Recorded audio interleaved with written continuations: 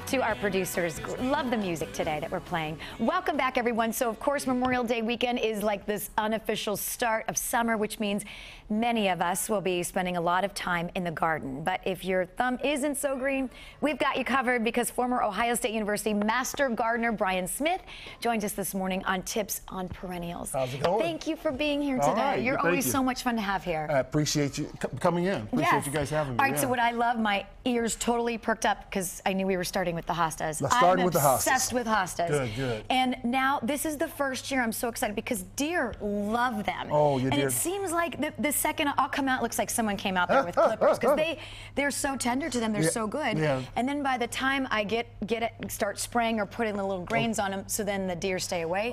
then they're not that Uh, then- big. But this year, I got on it early. Oh, got they're on early? gigantic. Sweet, sweet. They're yeah. so big. Uh, a lot of people do call them deer, deer food. Oh, so, yeah, it's so a you nice have the little sprays. salad for them. Um, Irish Spring soap is a good one.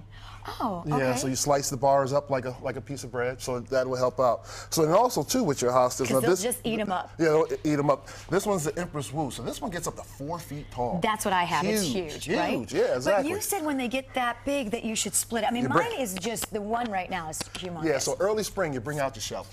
oh, that scares me. I don't want to hurt Early them. spring, you bring out your shovel. Okay. And all you have to do is just go in when they're still small shoots, and you go through and make sure you have a sharp shovel or really strong arms. Okay. And you go through and you just split them. Just go right through them. And then you take them and you can move them around your garden. Okay, so spread them a little bit. Yeah, spread 'em Or around. share them with your family or friends. Actually, my mom's coming up with buckeye trees from my grandparents' house and bringing up buckeye trees. Oh, So I'll have cool. to, at, during commercial break, I'll ask Yep, you all the right. best way to plant those. So okay, so hostas are gorgeous. They'll come up bigger and better every year. Every year, I yep, love them. I have every them all over my yard. All right, what do we have here? So we're going over to our dianthus. And uh, the dianthus are really cool because of this cool green, uh, blue color. Yes, they're Yeah. gorgeous, and the flowers are Yeah, gorgeous And too. the flowers are gorgeous also. Uh, both of these are Proven Winners selections, and as you can see, this one gets to about a foot tall, and this one stays about six inches tall, and uh, has a real nice um, burgundy flowers with the inner white, um, with the inner white. So these also too, like these will rebloom. So they'll Nice. bloom first here in the um, in the early part of summer. Okay. And then you'll cut off the dead, you'll deadhead them. You'll still have the nice foliage, and then later on in the fall they'll, they'll rebloom. They'll come back. Now, They'll where do you plant these? Okay, in so sun or shade? And so the hostas, so that with the hostas they go in shade, uh, or um, heavy shade to light shade. Okay. Uh, with these, are full sun. You can put them right out, right out in full sun. They make great border plants.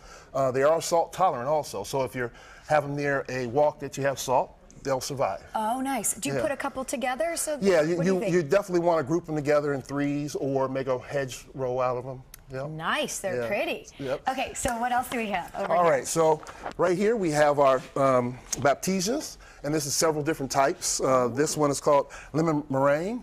This one is um, the vanilla, Vanilla cream. cream. Isn't that cool? pretty, and this one's Dutch, Dutch chocolate. Oh, it's go- chocolate. Did you say chocolate? I said chocolate. Ah, geez. See, now you're speaking my language. So, right? so the Those foliage, the foliage is very cool. Um, it uh, very hardy foliage, and that's the nice thing about these perennials. They look nice with their blooms or without their blooms. Um, and then also too, uh, these are splittable. Uh, Like I said, in the spring, uh, you have to give them a couple of years to establish themselves, and then you have the nice uh, flowers with the different colors. But then after the flowers are done, you have the really cool um, seed pods. Ah. So you have you have a fall a fall interest also with them. Boy, they're beautiful. Very beautiful. Absolutely Very gorgeous. beautiful. Now, when you're splitting, you scare me, Brian. Okay. Because, like, can you? Can, I don't want to hurt them. Well, see, don't be scared. Okay.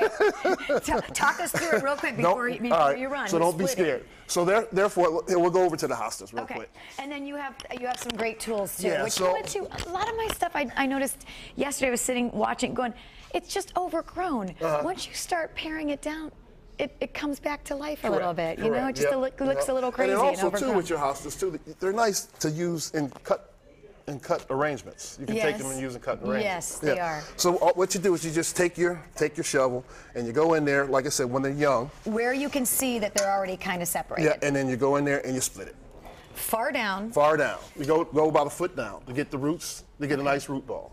Yep, a foot to two feet down. All right, this is a lot of information, right? so we have added a link uh, on our website, fox8.com. So make sure you just go click on Seen on TV for more, more tips on these great perennials. And what's so beautiful is they all have blooms, so it's adding color to your yard. Gotcha. And then, of course, the green. Yep. You're awesome. Thank you. Thank you. You're Great welcome. to have you here. All righty. All right, here's these great tools, and we have more on those too on our website, fox8.com. Still ahead on Fox